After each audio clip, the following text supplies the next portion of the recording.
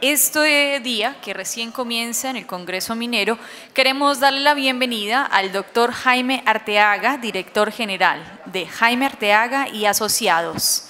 Así entonces damos inicio a la agenda académica contemplada para el día de hoy.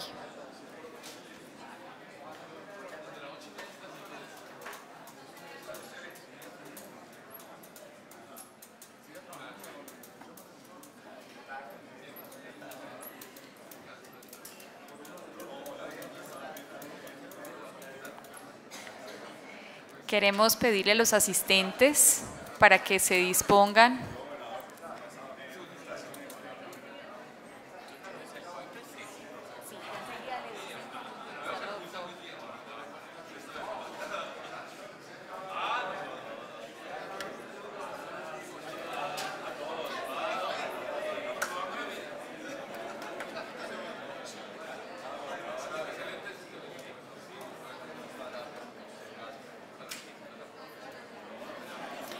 Nuevamente le damos la bienvenida al doctor Jaime Arteaga, director general de Jaime Arteaga y Asociados. Doctor, bienvenido.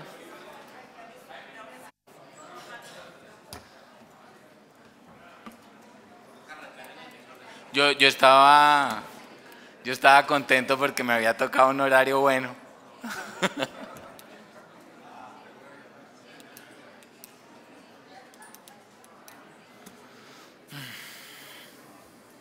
¿Listo?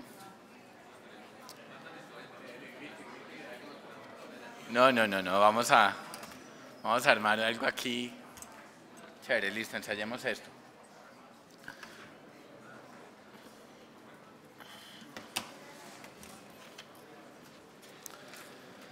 Vamos, digamos, la idea de esta presentación de hoy, al conversarla con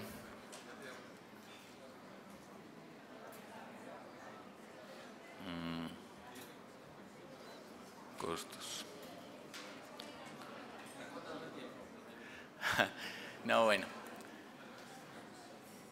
Cuando organizamos la presentación, bueno, primero tengo que dar las gracias, aquí lo anoté. Gracias Jaime Concha, la Andy. Eh, gracias, saludo a Eduardo Chaparro, que estaba, digamos, por ahí.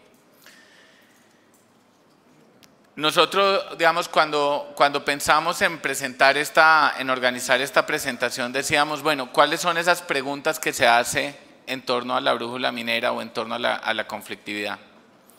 La primera pregunta es cuánto cuesta la conflictividad social. Segundo, la segunda pregunta es si, es, si el sector de minería tiene una crisis particular de reputación frente a otros sectores la tercera es, efectivamente, cuál es la reputación del sector y la cuarta es qué conversaciones debemos sostener. La brújula minera, como ustedes lo saben y lo repito todo el tiempo, es un estudio sindicado, eh, lo ejecutamos, eh, eh, que pertenece al Centro Nacional de Consultoría, JIA y la revista Mundo Minero, Silverio está acá presente. Nosotros le preguntamos a opinión pública, a directivos del sector minero, autoridades de gobierno, a líderes de opinión y nos financiamos eh, por contribuciones de la Cámara de Minería y eh, por la Vicepresidencia de Minería y Hidrocarburos de la ANDI, por la Asociación Colombiana de Minería y por la Agencia Nacional de Minería. Cuando uno habla de conflictos sociales tiene que saber cuánto vale eso. Y voy a poner esto en perspectiva. En la industria de minería y hidrocarburos no hay nada que se le ponga mayor atención que a la seguridad industrial, a la HSE. Y tiene una razón de ser. Aunque la industria minera a nivel mundial solo provee el 1% del trabajo, genera el 8% de los accidentes fatales a nivel mundial. Y eso significa un inmenso costo para la industria y de ahí que la industria sea tan cuidadosa con los estándares de seguridad. En Perú se pusieron a hacer un ejercicio y dijeron, ¿cuánto apaga la industria en promedio, la gran industria en minería, cuánto ha tenido que pagar cada, las empresas mineras por cada accidente minero? En promedio fueron 30 mil dólares. Entonces uno dice, bueno, como precisamente un riesgo muy importante de la industria es, es, la accidentalidad eh, y la seguridad humana, pues las industrias han desarrollado una disciplina importante para gestionar esa seguridad. Sin embargo, las industrias y la industria minera no ha gestionado con disciplina la seguridad, no ha hecho, no ha sido disciplina, disciplinada en gestionar la, la seguridad de los conflictos sociales. Se estima que para un proyecto entre 3 y 5 billones de dólares de presupuesto, una semana de demora vale 20 millones de dólares. Una semana de demora por, por conflictos sociales. ¿Cuánto vale el proyecto de Cerrejón, Julio? Un resto de plata, ¿no? Esa es una escala. Cada semana cuesta, por un conflicto social, puede costar 20 millones de dólares. Pero más allá aún, veamos unos casos específicos. En el 2006, Meridian Gold, los dueños del proyecto Esquel en Argentina, abandonaron reservas por 1.33 billones de dólares después de un referendo local y tuvieron que depreciar sus activos en 379 millones de dólares.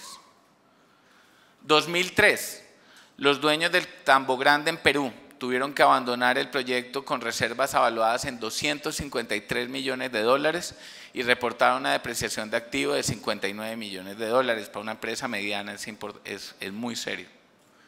En noviembre del 2011, los dueños del proyecto de Minas Conga suspendieron la construcción por solicitud del gobierno peruano tras conflictos con la comunidad. Es un depósito que hay dos dueños, Newmont y Compañías Minas de Buenaventura pusieron entre ambos 2 billones de dólares y hoy en día no se sabe cuál es la situación de ese proyecto. 2 billones de dólares. Anglo American 2014 tuvo que, tuvo que reestructurar completamente el proyecto que ya becó y lo, incrementó costos de 3.3 billones de dólares a 5 billones de dólares el proyecto. No hay un riesgo más costoso para la industria minera que la conflictividad social. Supera muchísimo los costos de, la, de seguridad industrial. Y a, la, y, a la, y la gestión de la conflictividad social no se le ha dedicado ni el 3% del esfuerzo de disciplina institucional para gestionarlo. Eso nos lleva a la siguiente pregunta. ¿Somos el único sector con problemas de estas características? No. Todos los sectores están experimentando un problema de reputación serio, básicamente por un hecho, y es que los grupos de interés están hiperconectados. ¿Qué significa que esté hiperconectado? Que las demandas de cada uno de los grupos de interés son imposibles de satisfacer. Todos los grupos de interés están conversando. Y ocurre el dilema del celular. La compañía de celular le entrega a uno el minuto a celular 10 veces más barato que hace unos años. Le entrega N veces más servicio que hace 10 años. Y lo odiamos N veces más que hace 10 años. Las crisis de reputaciones ocurren en el sector de los celulares, en el sector financiero, en el sector salud, en el sector público todos en el sector de infraestructura, en Colombia y en América Latina vemos lo que está pasando con Odebrecht. La crisis de reputación es para todos los sectores. Y el sector minero no es el menos apreciado de todos los sectores. Pongámonos en perspectiva. Preguntémosle a la gente, con respecto a ciertos sectores, ¿qué tan importante es el sector minero? Fíjense que en últimas en Colombia son más las personas que consideran que la minería es positiva para el país. En los municipios mineros 63%, en los municipios no mineros 60%. O sea, son más las personas que a mí me contestan que la minería le puede servir a Colombia. Pero qué, ¿y qué pasa cuando yo le pregunto a la gente cuál es el sector que, que más contribuye al crecimiento del país? 2016 y 2017 está ahí. Primero contestan el agrícola, la construcción y la industria. En los municipios mineros, la minería ocupa el mismo lugar de la industria. En los municipios no mineros es el 5%. Por debajo, en los, municipios mineros está el comercio, el petróleo, el gas, el turismo, el ganadero, el bancario. Obvio, son productores de gas, de, perdón, de, de minerales. Pero fíjense que incluso el sector ganadero y el sector bancario es reconocido en menor nivel como el que, crece, el que aporta más al crecimiento del país. Entonces, no podemos usar eh, necesariamente ese, ese, ese criterio. De todos los sectores, ¿qué opina la gente de cuál es el que más aporta al crecimiento de la, de la región? Ocurre lo mismo. En municipios mineros se considera primero la agrícola y muy parejo está la minería. Municipios no mineros, en cambio, lo ponen en los puntos más bajos, obvio, no son mineros. De los siguientes sectores, ¿cuál considera que es el que genera más empleo? La industria, luego la minería, desde luego, y en los municipios no mineros es el último. ¿Qué es lo que ocurre? Nosotros no hemos, no hemos reconocido aún que la minería dejó de ser local. Nada es local. Los grupos de interés están hiperconectados. Mi relacionamiento con lo local ya no es suficiente. La nación y los municipios no mineros, que además dentro, dentro de esos están aquellos en los que solo hay ejercicio de exploración, eh, tienen una menor apreciación de la minería. No hay negocio local hoy en día todos los negocios son nacionales y, si es el caso, multinacionales, globales. Ocurre algún rollo con alguno de las compañías inversionistas en sus proyectos mineros, el rollo golpea aquí y golpea en el municipio donde tenga usted el proyecto. Es por eso, ah bueno, y, aquí hay una cosa que a mí me parece importante. Fíjense que cuando yo le pregunto a la gente qué tan, está qué tan de acuerdo está con que es posible, es posible hacer una minería con el medio ambiente, el 68% en los municipios no mineros y en los municipios mineros me dice sí, es posible. Sin embargo, cuando le pregunto a la gente cuál es el sector en que más le gustaría trabajar, no hay diferencia entre los municipios mineros y los no mineros. En ninguno de los dos es el sector donde más le gustaría trabajar. Entonces el argumento del trabajo ya se volvió insuficiente. Tampoco considera la gente, ni en los municipios mineros ni en los no mineros, que el, sector minero sea importante para apoyar el, el proceso de paz y reconciliación. Sin embargo, todos coinciden, mineros y no mineros, en que es el sector que me afecta más al medio ambiente. O sea, todos creen que es posible hacer una minería con el, eh, amigable con el medio ambiente. La mayoría, 68%, cree que es posible. Todos tienden a identificarlo como el que genera más el, afecta más el medio ambiente. Y eso se ve reflejado en los comportamientos de las consultas populares que se referían previamente. Imagínense que hiciéramos una consulta popular en todos los municipios productores de un material. Primero que todo, el 30% de la gente me dice definitivamente sí, votar, sí participaría en una consulta, si mi alcalde convocara una consulta minera. 47% me diría probablemente sí participaría. Y si yo le pregunto a los municipios productores de materiales para la construcción si están de acuerdo con que en su municipio se prohíba la producción legal de materiales para la construcción, la mayoría me dice, no, no estoy de acuerdo con que se prohíba la producción legal de materiales para la construcción. Si le pregunto a los municipios productores de, carbón si están de acuerdo con que en su municipio se prohíba la producción legal de carbón, en general la mayoría dice no, yo no estoy de acuerdo con que se prohíba. Si está de acuerdo con que en su municipio se prohíba la producción legal de oro y metales preciosos, tampoco, digamos, la mayoría tampoco estaría de acuerdo con que se prohíba esa producción. Sin embargo, ¿qué hacemos si tomamos las respuestas solo de aquellos que contestaron que definitivamente votarían? Perderíamos.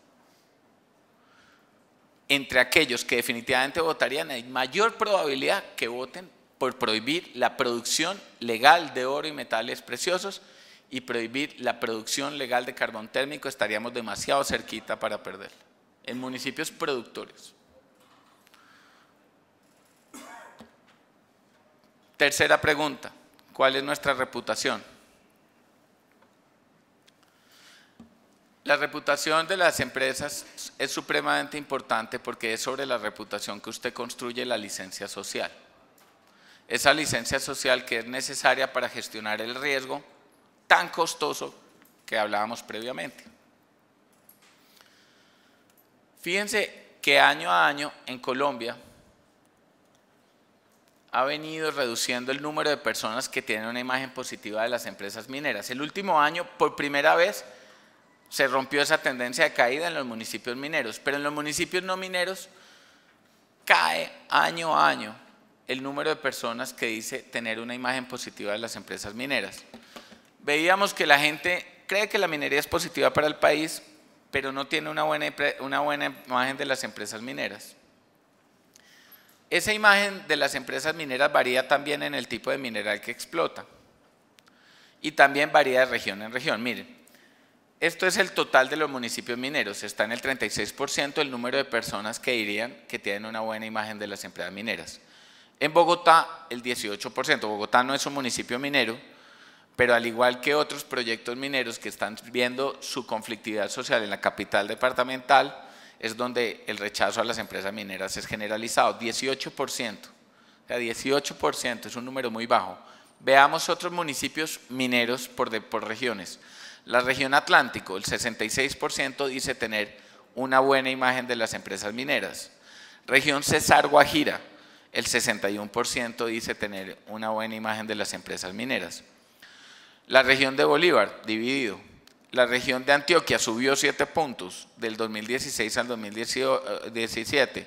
48% de los ciudadanos en municipios mineros dice tener una buena imagen de las empresas mineras. En Boyacá, 30%. En la región del Valle y Pacífico, 29%. En la región Tolima y Huila, 27%. En la región Meta, 25%. Estos son municipios mineros, donde la percepción sobre las empresas mineras es más cercana. Y eso nos lleva a pensar cuál es la razón por la cual yo considero que las no tengo una buena imagen de las empresas mineras. Y aquí hicimos un ejercicio que se hace en investigación de, mercados, que es producir un perfil psicológico de las empresas. Eso se hace, entonces usted pregunta a una empresa, entre una característica y otro, ¿qué perfil tiene? Esto es lo que contestan los directivos de las empresas mineras. Entre, ¿qué define mejor una empresa minera? Entre, si son comprometidas o egoístas. El 75% dice comprometidas. ¿Qué define mejor a las empresas mineras? ¿Responsables o descuidadas? 72% responsables. Todavía queda uno preguntándose por qué 28% de directivos de empresas mineras dicen descuidadas. ¿Fuertes o débiles? Fuertes, 69%. ¿Cercanas o arrogantes? 62%. ¿Proactivas o pasivas? 59%. ¿Visibles o silenciosas? 48%. Visibles. O sea, según los directivos del sector minero, las empresas son comprometidas, responsables, fuertes y silenciosas. ¿Qué contesta la gente? Municipios mineros y no mineros, fuertes o débiles. Fuertes 62%. Proactivas o pasivas. 49% dicen proactivas. Visibles o silenciosas. 47%, ahí ya se empieza a dividir la, opinión. ¿Comprometidas o egoístas? La mayoría dice que egoístas. ¿Cercanas o arrogantes? Arrogantes. ¿Honestas o deshonestas? Deshonestas. Quiere decir que para la gente las empresas mineras son los matones del, del curso. Iba a usar otro ejemplo, pero Simón me insistió que usar ese ejemplo. Imagínese usted creerle a alguien que es deshonesto, arrogante y egoísta. No, mira, yo te voy a cuidar el agua. No, yo te voy a cuidar la gente. No hay, no hay posibilidad. este perfil reputacional no permite construir ninguna conversación constructiva. Es por eso que en últimas los directivos del sector tampoco están satisfechos con la gestión de las relaciones. Esto es la autoevaluación que hacen los directivos del sector. Entonces, cuando le digo, ¿qué porcentaje de directivos del sector, del, directivos del sector minero están satisfechos con la gestión de las relaciones con las autoridades mineras? El 73%, la mayoría dice, tengo buenas relaciones con las autoridades mineras. ¿Qué ¿Cuántos directivos, qué porcentaje de directivos están satisfechos con la gestión con las relaciones autónomas, con las corporaciones autónomas regionales? Baja al 59, sigue siendo la mayoría. ¿Qué porcentaje de ellos está satisfecho con la gestión de las relaciones con las alcaldías? 52%. ¿Qué porcentaje de ellos están, eh, están eh, satisfechos con la gestión de las relaciones con líderes sociales a nivel local? 51%. ¿Qué porcentaje de ellos está satisfecho con la gestión de relaciones con las gobernaciones? Ya menos. Con los sindicatos, menos. Y con las ONGs y fundaciones a nivel nacional. Entonces, en últimas, cuando yo me pongo a pensar que cada uno es un grupo de interés y cada uno yo lo tengo que gestionar individualmente, pues veo que no estoy satisfecho con la forma en que se está gestionando. En ese contexto, y aquí, pues digamos, viene el, eh, ya el punto que quisiera dejar es la conversación. Estamos en el mundo del ruido. El mundo del ruido está lleno de comunicación por todos lados. el mundo del ruido nos está devolviendo a unas comunidades. Nada de lo que usted, de una empresa no puede gestionar la reputación desde la comunicación. la reputación se gestiona desde las conversaciones. Y esta gráfica demuestra perfectamente en el mundo en que estamos. Esta gráfica es una agregación de Twitter. El azul son las personas que tienen principalmente ideas liberales. Y el rojo, los godos, o sea, los conservadores, tal vez. Pues digamos, pero es una gráfica hecha en otro contexto. Fíjense las interacciones en Twitter de los liberales y las interacciones en Twitter de los conservadores. Las conversaciones en red, en un mundo hiperconectado, no hacen cambiar a la gente de opinión, refuerzan mi posición frente a algo, refuerzan mi relación de comunidad. Es una conversación que puede ser sorda, como sordas son las empresas. ¿Por qué? Porque si yo tengo ideales liberales o cierto tipo de ideología, yo solo voy a retuitear y yo solo voy a usar las conversaciones que, me, que refuerzan mis prejuicios. Entonces uno dice, no, es que los antimineros son muy prejuiciosos. Yo digo, nosotros los mineros también somos reprejuiciosos, o sea, somos súper prejuiciosos. Una empresa nos pidió la otra vez y nos dijo, es que a nosotros nos está haciendo oposición los de izquierda. Hicimos un estudio y en ese estudio le pedíamos a la gente que se autoidentificara ideológicamente y solamente los que más, los que más mencionaban a esa empresa como una buena compañía era gente de centro izquierda. No existe relación, digamos, nosotros también estamos cerrados en esa concha. Y fíjense que no es mucho lo que nos diferencia de las personas que en últimas se están graduando de oposición. ¿Por qué las empresas mineras no pueden salir e, a, marchar por el agua? ¿Por qué las empresas mineras no pueden promover valores democráticos de avanzada? ¿Por qué las empresas mineras no se pueden involucrar con democracia, con grupos LGBT, con diversidad, con inclusión racial, con los temas que en últimas pertenecen a ese grupo, a un grupo de comunidad que en últimas está viendo a las empresas mineras como sus enemigos? Porque no hay nada que caliente, más que caliente más fácil y que prenda más fácil que un minero. Le ponen un Twitter y inmediatamente quiere pronunciarse en contra del Twitter. Le dicen que va a hablar del agua y entonces inmediatamente le dice que es un opositor. Le contradicen algo e inmediatamente se calienta. Calentar a un minero es muy fácil. Es muy fácil. Y fíjense que en últimas no nos separa mucho de los que están en últimas, eh, los hemos graduado de, de antimineros mamertos, izquierdosos, etc.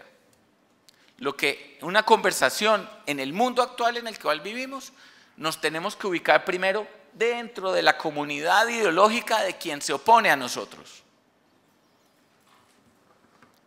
Y esto les voy a mostrar unos datos que creo que son curiosos. Entonces, quiero que se graben esta mente, esta idea, la de las comunidades. ¿Cuál es la probabilidad que yo tenga una, una buena imagen del sector según la fuente del cual se adquiere la información? Aumenta la probabilidad un 7% si yo obtengo la información del gobierno nacional. Aumenta un 14, 15, 12% la probabilidad de que yo tenga una buena imagen del sector si yo obtengo la información directamente de las empresas. Para el 2017 se, redujo se reducía un 6% la probabilidad de tener una buena imagen del sector si yo adquiría la información de la televisión. Y se reducía un 13% la probabilidad de tener una buena imagen del sector si yo adquiero la información a través del Internet. Esa es la probabilidad según la fuente. Veamos de dónde obtiene la información la gente. Municipios mineros de la televisión. Recordemos esta cifra, este dato. Entonces se reduce un 6% la probabilidad de que yo tenga una buena imagen del sector minero. La segunda fuente de información hoy en día, el Internet, en municipios mineros además. La segunda fuente de información para informarme de la minería es el Internet en municipios mineros. Reduce mi probabilidad de, tener una buena imagen del sector. De la prensa escrita, de la radio, de un familiar, de un amigo conocido, de lo que dice la gente. Y aquí empieza. Primera vez, de los trabajadores de las empresas mineras. 12%.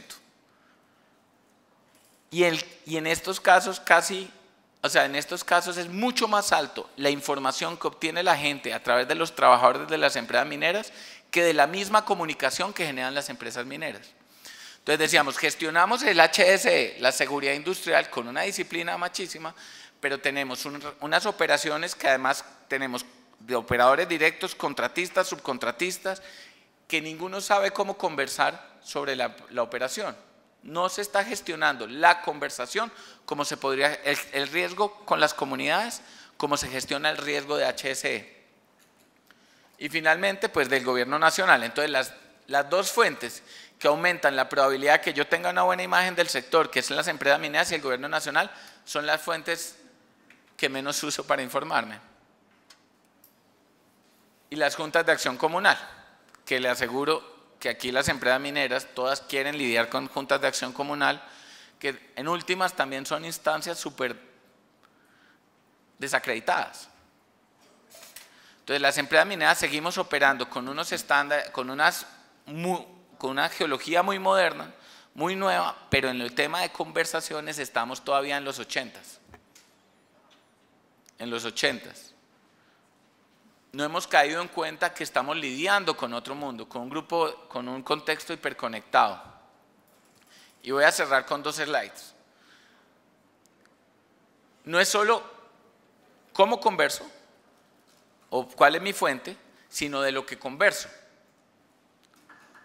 Las empresas cuando quieren conversar de la minería, ¿qué contestan? El billete, o sea, cuántas regalías estoy generando, cuántos empleos estoy generando, ¿Cómo estoy cuidando el agua? ¿Cierto? Son como las tres cosas que salgo pues a la defensiva a contestar. Que como les digo, si hablo de esas tres cosas estoy en volqueta porque además no pertenezco al, al grupo, no pertenezco al combo. ¿Cuál es la propensión de que yo considere que la minería es positiva para el país? Si, si, pienso que es posible hacer una minería que trate dignamente a los trabajadores. 1%. Sea, si pienso que, si hablo de empleo y que un trabajo digno, solo aumenta la propensión de pensar que la minería es positiva para el país, 1%. ¿Que es posible hacer una minería amigable con el medio ambiente? 7%. ¿Es posible hacer una minería socialmente responsable? 9%. La minería bien hecha trae desarrollo para las regiones donde opera, 12%. Ahora bien, ¿es posible hacer una minería que beneficie a las comunidades? 16%. Una propensión del 16% me la explicaban así. Si yo le digo a usted que estudie para un examen y le digo tiene el 10% de probabilidad de que pase el examen, usted me dice que es muy bajito. Pero si yo le digo a usted que si cruzando la calle por este punto tiene un 16% de probabilidad de que lo maten, es un jurgo. Fíjense ¿Cuál es la propensión de pensar que la minería es buena para el país? Y creo que Colombia es un país con, una tradición minera regal, 18%. Pero les voy a mostrar una que los va a sorprender. Si yo creo que la minería es un aliado en la construcción de la paz de Colombia, cree, la aumenta la propensión un 24%. Un sector que ha sido pasivo frente al tema del proceso de paz, que ha sido pasivo para hablar de paz. Y este era el tema. Porque es que cuando yo quiero que la gente quiera la minería, no puedo ser tan inmoral de pensar que el objetivo final de la minería es el mineral o el billete. Eso no es moral. La minería necesita recuperar su propósito. ¿Cuál es el propósito? Convertir algo muerto, que es un mineral, en una cosa viva, que es la educación, que es la salud, que son las oportunidades, que es la democracia, que son las cosas que quiere la gente.